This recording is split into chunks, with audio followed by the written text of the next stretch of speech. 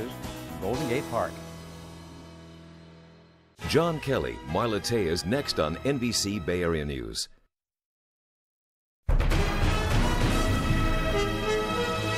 NBC Bay Area News starts now.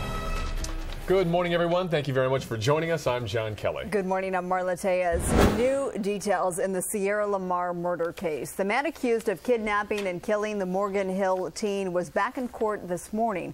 But more than a year after her disappearance, we are still waiting to hear a plea from Antolin Garcia Torres. NBC Bay Area's Marianne Favro joins us live in San Jose with reaction from outside the courtroom. Marianne. Well, Marla Garcia Torres did not enter a plea again this morning, and some people are very frustrated by that. But the judge did order him back here in court on July 23rd to finally enter a plea. Now, Torres's appearance has changed dramatically.